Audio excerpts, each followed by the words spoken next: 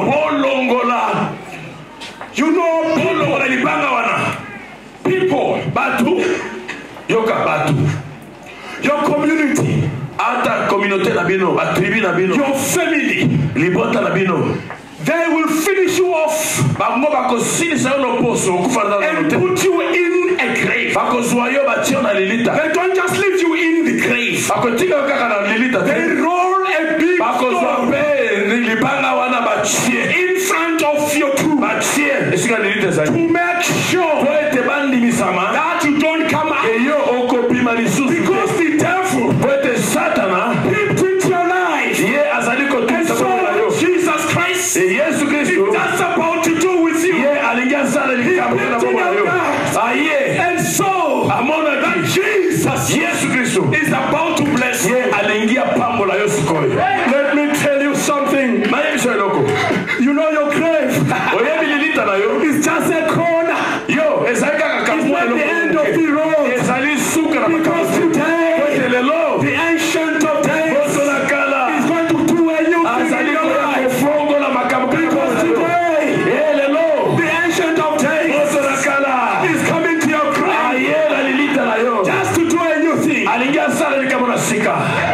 But listen to this. Yo, yo kasi ko makambo oyo. Ah, sister, sister, sister. Oh, ndeko basi. Ba jeune sœur. At times you think that you have got a plan. Ezali na ntango ozoloba ngai naza na plan moko boye. At times you think that you have got a sister.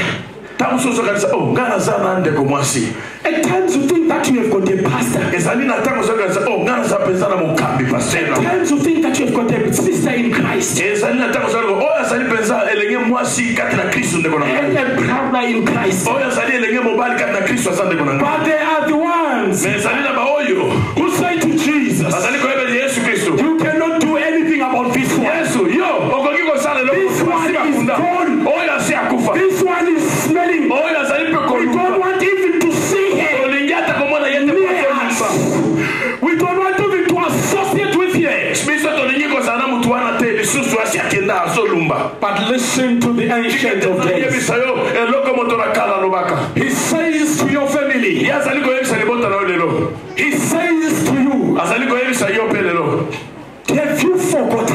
Yo, obosana. That I am Jesus. Wete ngai nazali Yesu. I am the word. Ngai nazali liloba. I am the beginning. Ngai nazali ebandeli mpe suka. Ah, suka na makambo. I was there. Ngai nazalaki wana. Before this person you are bearing. Oyo moya azala aba ba cree ba cree ye my father communicated with me papa na ngai ye acommunicating na ngai and the holy spirit na molimo santu that we create him po ete tokela yo yes yes nayebi her father and mother in law and all the aunts ba mama ba papa ba bokilo ba nani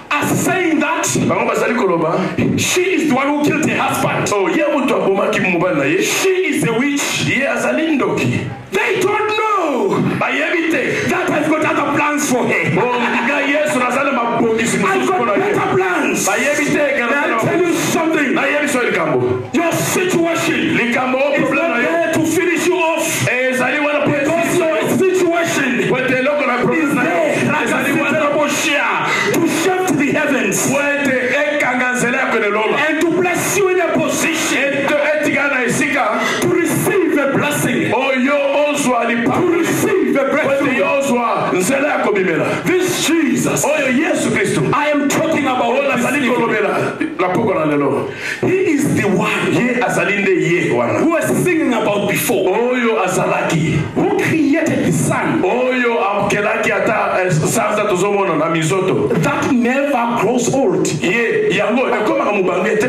Osi bomona sanza ekoma mobange.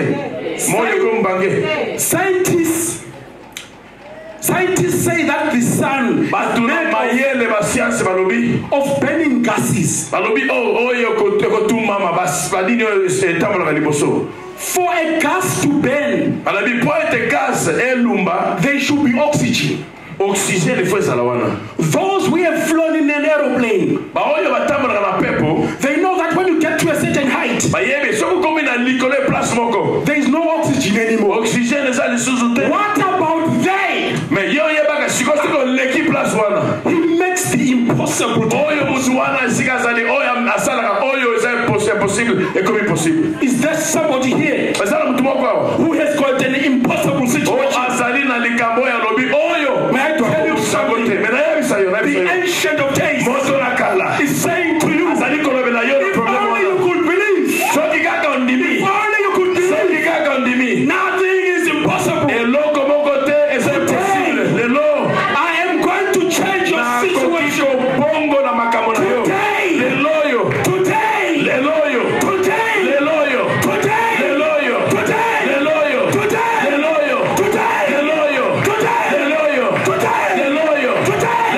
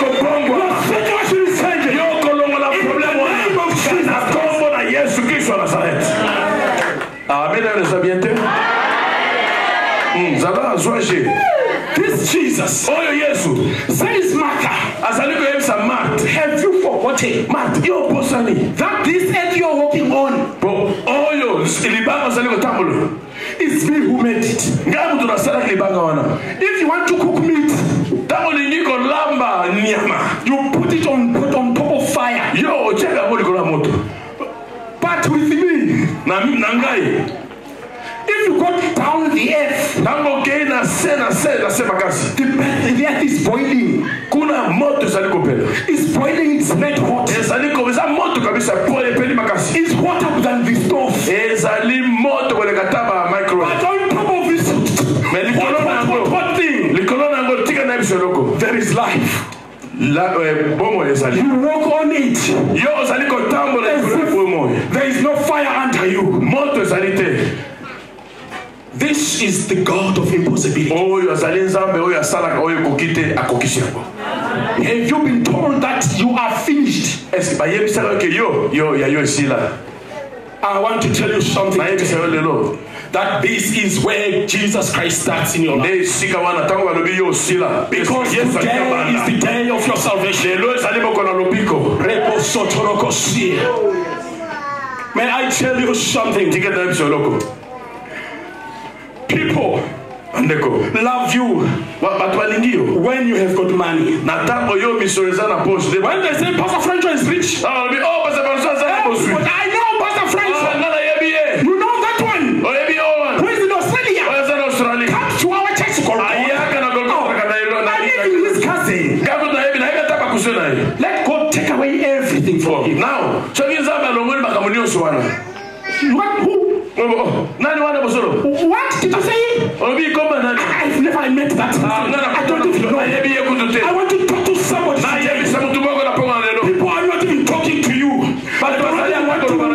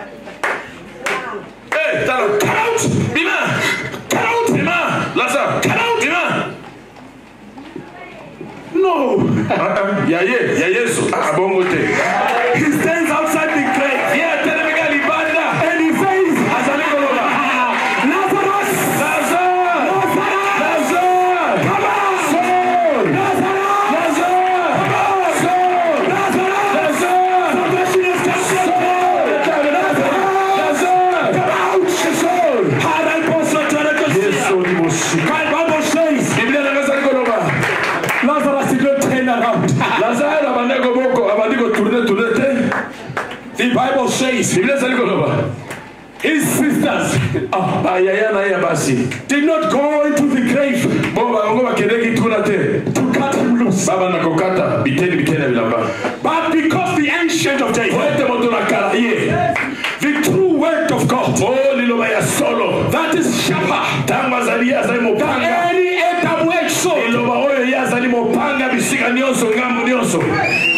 That is outside. Ye azali kaka na libanda. And is also inside. Ye akoti na kati. Jesus Christ. Yesu. Was outside the. Ye azalaki libanda. As well as inside the. Azalaki